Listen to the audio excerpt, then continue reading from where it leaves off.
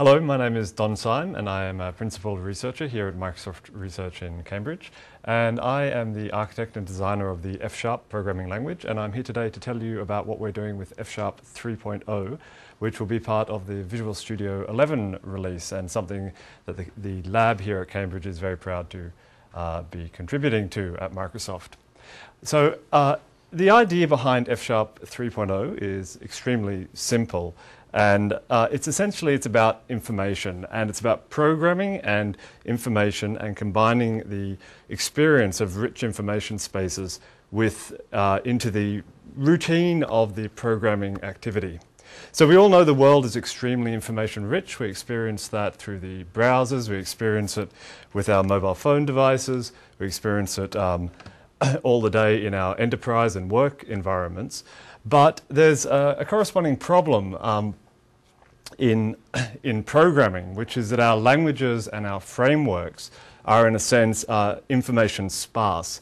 If you uh, are working as a programmer and you go looking for a definition of a football player or an amino acid or a chemical element or a, uh, or, or, or, a camera, or you, um, you won't find these definitions in in our programming environments. And we want to, we know, we, we, we know these things have definitions. We can go to places like Wikipedia where there's rich metadata describing these different elements. And we want to be able to program as if that information were part of that, of our ambient environment for our programming work. So F-sharp 3.0 is about foundations to, to fix this problem. And essentially what we're doing is directly integrating massive and richly organized information spaces and the associated metadata that describes the schemas of those spaces directly into the programming experience. And the, part of the key thing is, is that we're doing that in a strongly typed language and we're doing it in an open and extensible way. And the key thing about strong typing is it allows your environment to give you a lot of assistance in terms of detecting errors and providing you with assistance and suggestions about how you might work with the different information spaces that you're, you're interested in. So uh, the key technical feature we're adding to F-sharp is called type providers, and that's a way of taking an external information space and injecting it into your programming environment. And I'm going to give you a short demo of what that might mean for using one particular information space, which is something called a semantic web ontology which is a, essentially imagine all the information on Wikipedia being brought into your programming environment, more or less as if it were a library.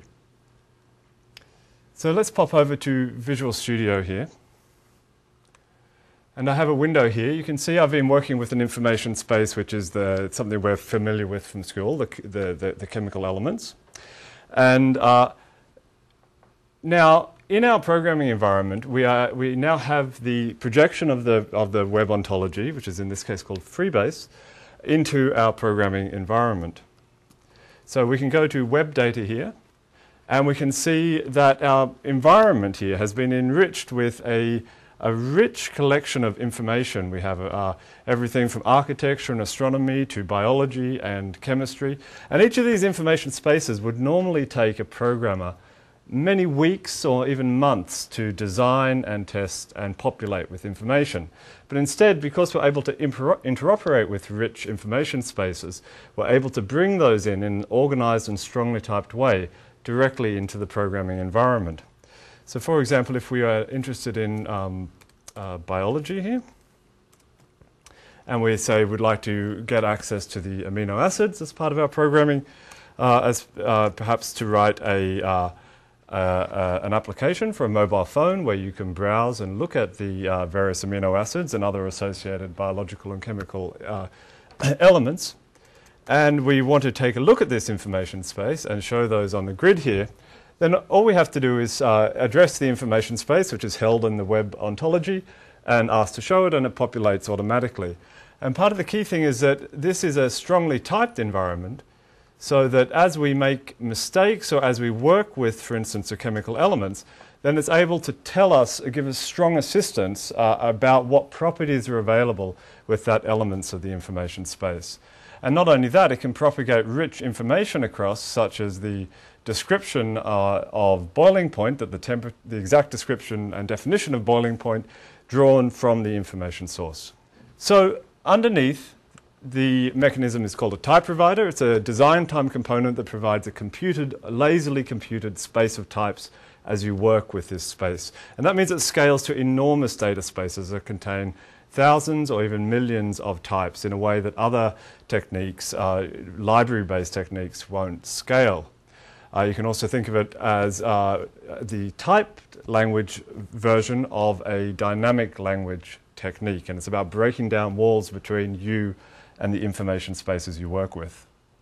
So the vision we have is that if you have web data or data markets or enterprise data, you get immediate, strong typing at enormous scale in an extensible and open way, in a reliable and connected way. And there's all sorts of other information spaces we're interested in interoperating with, from spreadsheets to web services to social data to design based data. So, in summary, the world is information rich, and our languages need to be information rich too. And the, F, the future of F Sharp, our manifesto for the work we're doing here at Microsoft Research in Cambridge and with the Visual Studio F Sharp team, is to consume it directly, strongly typed, without walls between you and your information. And thank you very much.